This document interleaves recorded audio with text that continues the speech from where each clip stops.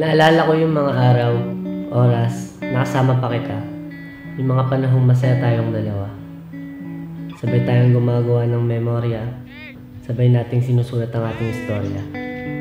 Naalala ko, yung mga ngiti mo umaabot sa iyong mga mata. Yung aasarin mo ako, sabay tawa. Nagsiselos ka pa nga pag may kausap akong iba. Naalala ko din dati, pag susungit mo sa tuwing nagsiselos ka. Hinawakan mo ang kamay ko. Sa simpleng galaw mo, hinabahan ako. Tinignan mo ako sa mata. Seryoso, hindi nakakatawa.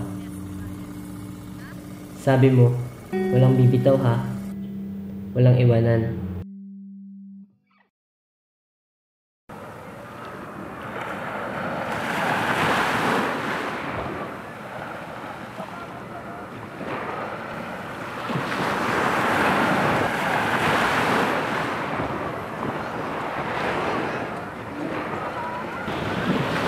Uy, Kurt, kamusta? Okay lang.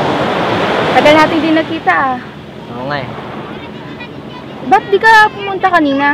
Siguradong magtatapos sa'yo si Isa. Ay, may klase ako kanina eh. Des, alam kong mahirap yung pinagdadaanan mo. Pero kasi, ang tagal na eh. Two years na, exactly. Sim- simula nung araw na na. Doon, tis lang. Tama na.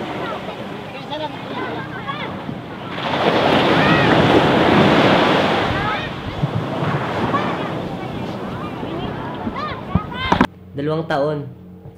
Dalawang taon ka nang wala. Sa loob ng dalawang taon na yun, pati ako nawala. Nawala kahahanap sa'yo. Nawala sa sarili ko. Hinahanap kita kahit alam kong wala ka na sa piling ko.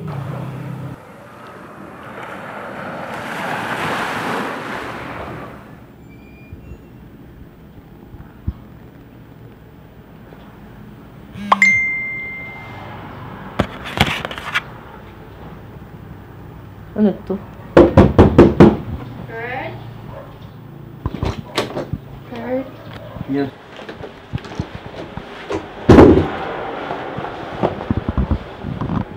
Ano to? Ano yan? Ano na naman bang kalokohan to? Dumaan lang naman ako dito para bigay sa'yo to eh. Kasi balita ko di ka na daw kumakain. Tigilan mo nga ako. Bakit mo ba pinapakailaman account ni Isa? Ha? Anong account? Eh ayaw nga pinapakalaman ni Isa yung account niya eh. Eh, ano to? Wala. Hello? Apo. Ah, Pauwi na po. Sige po. Ayun. Sige, pinapauwi na ako eh.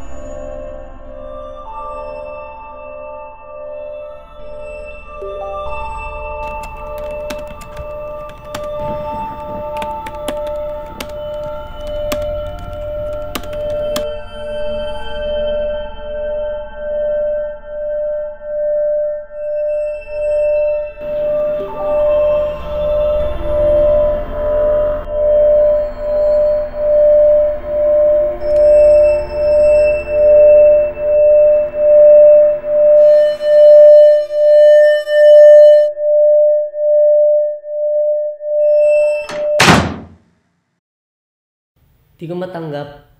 Di ko pa rin tanggap na iniwan mo na ako. Di ka man lang nagpaalam. Bigla ka na lang nang iwan. Di ba?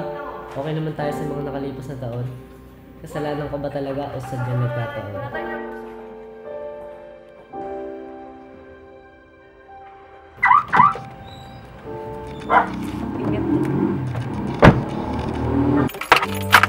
Mahulog ko